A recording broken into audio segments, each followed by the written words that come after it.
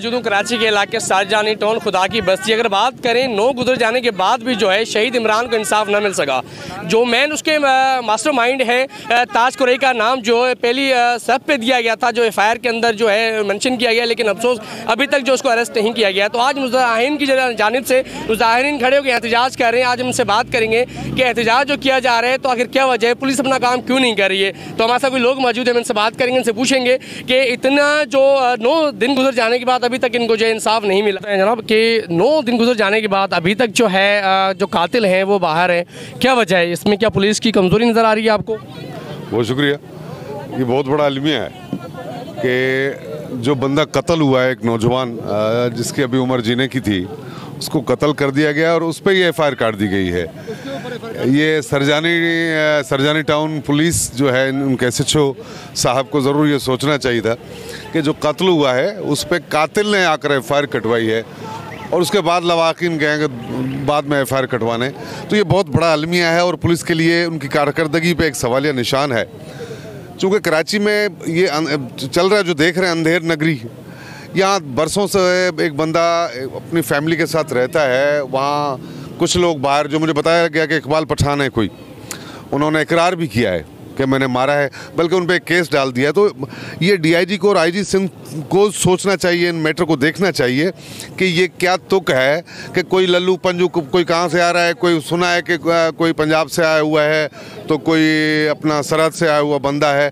उन्होंने इकबाल, इस अपना इमरान, शहीद इमरान को कुछ दिनों से उनके आपस में मामला चल रहे थे, उनको फ़ोन करके बुलाया है कि आओ बैठ बैठ के बात करते हैं। उसको बुला के दो तीन बंदे उसके साथ हैं इसको शूट किया टारगेट करके मारा गया है। और उसके साथ जो साथी हैं, उनको भी, उन पर भी फायरिंग की गई है। उसको यानी कत्ल किया गया और उस पर एफ़ आई आर है। तो ये, हम मुतालबा करते हैं सी एम सिंध से भी आईजी सिंध से भी डीआईजी सिंध से भी चीफ जस्टिस हाई कोर्ट से भी, कि ये ये एस एच ओ सरजानी जो है, ये धंधा चला रहा है। काफ़ी अरसे से पहले भी अपना शहीद जावेद भट्टी का जो जो लवाहकिन अब उन पर एफ़ हो रही हैं, उन पर धमकी दी जा रही है तो उन्होंने एक एक सिलसिला बना लिया है पैसा बनाने का। तो यहाँ सारा कुछ वो एक काम कर रहे हैं तो इनको हम, एक मुतालबा कर रहे हैं शराफत से आला अख्तियार से इदारों से। कि इन इनको रसो रस्सी डालें और ये जो लवाहकिन हैं मुतासरीन हैं शहीद इमरान रिंद के उनके साथ इंसाफ किया जाए। आज हम रोड के किनारे खड़े हैं। ऐसा ना हो कि कल रोड पर बैठ जाएँ और रोड बंद कर दें और फिर जाके आप नींद से उठो। उससे पहले कि आ, मेहरबानी करके आप नींद से उठें। जी, बिल्कुल हमारे साथ और लोग मौजूद हैं। आप क्या कहेंगे? अभी तक जो है इतनी लापरवाही की जा रही है। हमेशा हमने देखा है कि कोई भी काम होता है तो पुलिस की जानब से काफ़ी जो है जो डिले काम होता है, एक सुस्त रवैये का शिकार होते हैं हमारे काफ़ी लोग। उसकी वजह यही है कि हमारा उसका जो निज़ाम है वो दुरुस्त नहीं है। तो क्या मैसेज देना चाहेंगे आप? बसमिल्लाम सिंध आवामी सद के तोसत से हम शहीद इमरान के अज़ीज़ के साथ हैं। अभी हम लवाकिन के साथ मिले हुए हैं। अभी जो हमने पोजीशन सुनी है, जो हवाला सुने तो पुलिस सरजाइन टाउन जो है, बड़ी दहशत गर्दों के साथ लेन देन करके, शहीदों के ऊपर केस कर रही है। हम उस, उनकी सोच, उन केसों की मजम्मत करते हैं और सरकार से, सिंध हुकूमत से, सीएम से, हाई कोर्ट सिंध से मुतालबा करते हैं, एसएसपी साउथ से मुतालबा करते हैं। तो जो इस, उससे मुतालबा करते हैं तो सरजान टाउन ऑफिसरों को डंडा दो और जो हक है, जो शहीद किया गया है, उसके कातिलिन को गिरफ़्तार किया जाए और मजलूमों के साथ इंसाफ किया जाए। अगर अगर कातिल गिरफ़्तार नहीं किए गए तो सिंध सद, सारी सिंध में इन मजलूमों के साथ होगी और यहाँ इनके अलावा इनके अज़ीज़ वकारब के साथ, प्रेस क्लब से लेके सीएम हाउस तक इनके साथ होगी और हम जो कातुल को गिरफ़्तार करा करा कर रहेंगे। और हमें हक चाहिए, हमें इंसाफ चाहिए। हाँ जी, बिल्कुल हमारे साथ वकील साहब मौजूद हैं जो इन केस को देख रहे हैं। आप ज़रा मुझे ये बताएँ कि एफ़ आई आर मैंशन हो गई है उसके अंदर। हमारे साथ वकील वकील साहब मौजूद हैं जो इस केस को देख रहे हैं। वकील साहब, ये बताइएगा जो एफ़ आई आर जो मैंशन हुई उसके अंदर दफ़ाएँ जो हैं, तीन सौ दो और बटा तीन सौ चौबीस है। तो चौबीस जो है, जो बंदा ज़ख्मी हुआ है, उसके लिए वो तो एक्सीडेंट जो हादसा होता है, उसके लिए दफ़ाएँ डाली जाती हैं। तो क्या समझते हो, दफ़ाएँ सही डाली गई हैं पुलिस की जानब से? जी, बिल्कुल जैसे उन्होंने सेल्फ डिफेंस में जाके हमारे ऊपर एफआईआर जो कटवाई है, वो बिल्कुल झूठी एफआईआर है। हमने जो अपनी एफआईआर है, सिर्फ़ डिलेबिलिटी ये हुई है कि हम अपने इंजर्ड लेके हॉस्पिटल गए तो ये पुलिस की मोलाफाइड है पुलिस उनके साथ मिली हुई थी मुसलसल उनके रबते में थी कि अब क्या हो रहा है, क्या नहीं हो रहा तो उनको पुलिस ने मेरा अंदाज़ा तो ये मंगवा के हमारे ऊपर जो एफआईआर कटी है वो बिल्कुल झूठी है। हमने 302 की एफआईआर बहुत अपने ज़ोर ज़बर से क्या बोलें कि अपनी डेड बॉडी लेके लेके आए तभी जाके हमारी एफआईआर कटी है। तो पुलिस फुली सपोर्ट है मुलजमों के साथ। अच्छा मुलजम जो पकड़े गए, पहले से ही वहीं मौजूद थे तो हमने वहीं पकड़वाए बाकी उसके बाद कोई भी कहीं रेड नहीं हुआ। आईओ साहब हमारे जो इस केस में हैं, वो सिर्फ़ बातों के सवा में और कुछ नहीं दे रहे। एस एच ओ हमारी बात सुनने के लिए तैयार नहीं है। यहाँ की आला कमा जो डी आई जी साहब है, उसने अभी तक हमारे जो विक्टम है, उनके साथ कोई रबता नहीं किया। एस एस पी यहाँ के डी एस पी जो है डी एस पी अभी तक हमने देखा तक नहीं है कि इस केस में उसने का क्या किरदार है, क्योंकि वो डिप्टी हैं यहाँ के। अभी तक वो लवा लवाकिन के पास नहीं आए उनसे कोई स्टेटमेंट लेने के लिए नहीं आए कि क्या हुआ क्या नहीं हुआ। तो ज़्यादा जो एस आई होते हैं वो क्या कर? रहे हैं अपना काम कर रहे हैं नहीं कर? रहे नौ दिन गुजर जाने के बाद अभी तक जो है वो कानून की गिरफ्त से बाहर हैं। क्या वजह है? क्या लगता है कि कोई पैसे की लेन देन हुई है?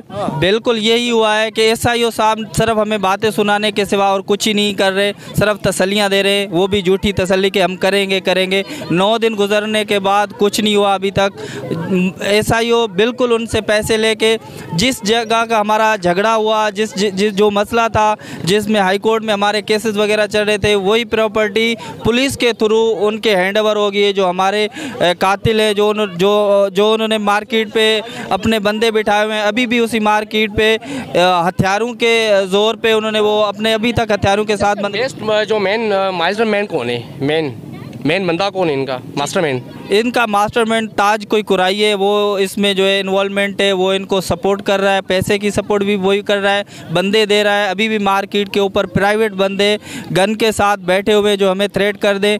अच्छा इसमें एक और नई चीज़ आई है कि नए नए बंदे ये लेकर आ रहे हैं पुलिस के पास जो कंप्लेनेंट बन के हमें थ्रेट करवा रहे हैं कि ये भत्ता ले रहे हैं, ये कर रहे हैं। इसलिए वो हमारा केस ख़राब करने के लिए और हमें उस केस से हाथ उठवाने के लिए कि ये केस से हट जाएँ। इसलिए वो नए बंदे आके हमारे ऊपर कंप्लेनें कर रहे हैं। तो मेहरबानी, हम कहेंगे कि तो ये जो मर्डर है, इसकी फेयर इन्वेस्टिगेशन की जाए, ताकि हमारी एफआईआर चालान हो जाए।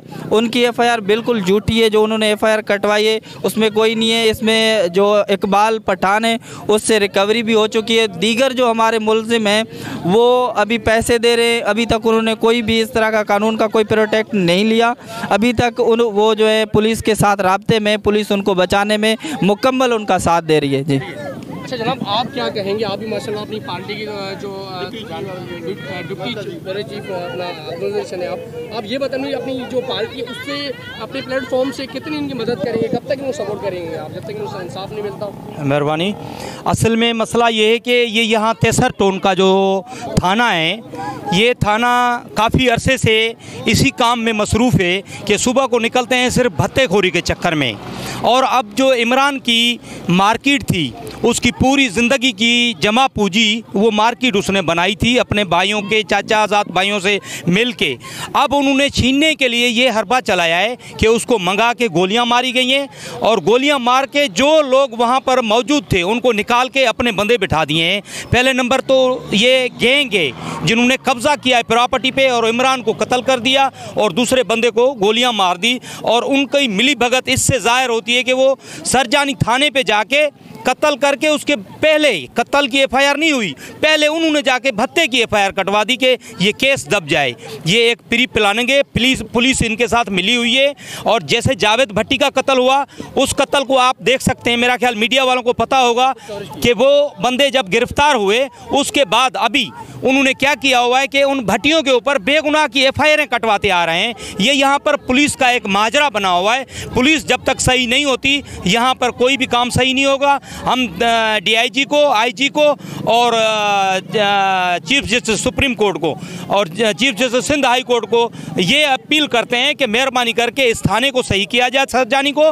नहीं तो आगे भी लोग ऐसे ही मरते जाएँगे। और ये इमरान की जो है, ये इन हुकूमत वालों की तरफ़ से ही मार्केट छिनवाई गई है। इन बच्चों को मेहरबानी करके ये मार्केट वापस करवाई करवा के दी जाए और ये केस जो है, किसी और थाने पे ट्रांसफ़र करके इसकी फेयर इन्वेस्टिगेशन कराई जाए।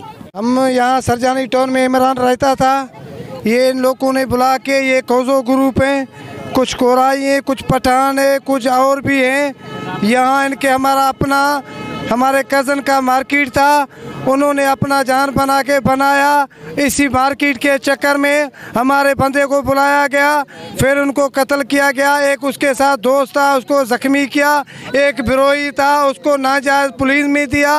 वहाँ गोलियाँ लगा रहे हम लेके अस्पताल जा रहे हैं। ये लोग जाके थाने पे हमारे ऊपर एफ़ करवा रहे हैं, भत्ते के। हमारे ऊपर भत्ते के एफ़ कर रहे हैं। ये इनके बड़ी गैंगे ये ये सरजानी टाउन पुलिस जो है, इनके साथ मिला हुआ है। हमारे ऊपर ऑफिसरों को अपील है। सिंध आई जी मार साहब को अपील है। सिंध आई जी को अपील है। सिंध हाई कोर्ट को, सुप्रीम कोर्ट को। अभी हम रोड के पास खड़े फिर हम रोड पे आएँगे। हम शहीद को, खून को ध्यान करने नहीं देंगे। ये पुलिस के पास हम जा रहे हैं। दो बंदे उन्होंने जो पहले पकड़ाया, वही बंदा पुलिस किसको भी नहीं पकड़ रहे। इनके साथ और कुछ दस पंद्रह बंदे घेंगे अभी भी उन्होंने आके हमारा दो तीन दिन के बाद ये शहीद हुआ। उनके बाद एक पठान आके बैठ गया है। ये हमारी मार्केट है। इन्होंने मार्केट के लिए शहीद करवाया। हमारे पूरे ऑफिसरों को अपील है। मीडिया को हमारी खबर उस तक पहुँचाए। जैसे कि आपने तासुरात सुने, इनका यही कहना था कि जो इसके अंदर लोग जो इन्वॉल्व हैं, वो ताज कुरई भी है।